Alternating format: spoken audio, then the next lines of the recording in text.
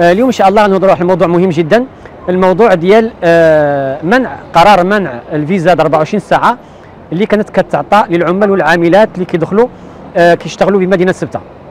طبعا كاملين كنعرفوا على أن كاين أكثر من ديال العمال والعاملات اللي خدامين داخل سبتة بشكل شرعي. عندهم واحد بطاقة العبور كيدخلوا ويخرجوا بها. هذيك بطاقة العبور نهار اللي كتقاضى لهم داخل سبتة كيمشيو كيعملوا البصمات وكيعطوهم بطاقة أخرى كيدخلوا ويخرجوا بها. لكن اذا تقاضت لهم هنا في تطوان مثلا كيمشيو للقنصلية الإسبانية آه، هنا بمدينة تطوان كيعطوهم واحد الفيزا 24 ساعة كيهبطوا بها لسبته وتما كيعملوا البصمات وكيعطيوهم ذاك الترخيطة ديال العبور أو بطاقة العبور.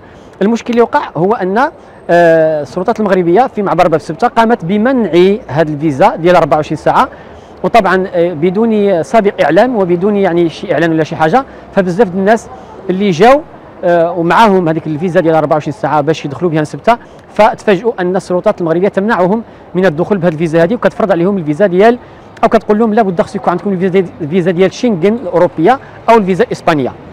وطبعا هذا الشيء هذا سبب واحد واحد الاستياء واحد حالة استياء كبيرة في نفوس عدد كبير ديال العمال والعاملات اللي هنا داخل تطوان واللي بقاو عالقين ما قادرينش يدخلوا باش يسووا الوضعية ديالهم ويجددوا ذاك البطاقة العبور بسبب الرفض ديال الفيزا 24 ساعة اللي ترفضت في آه عند السلطة ديال معبر باب سبتة.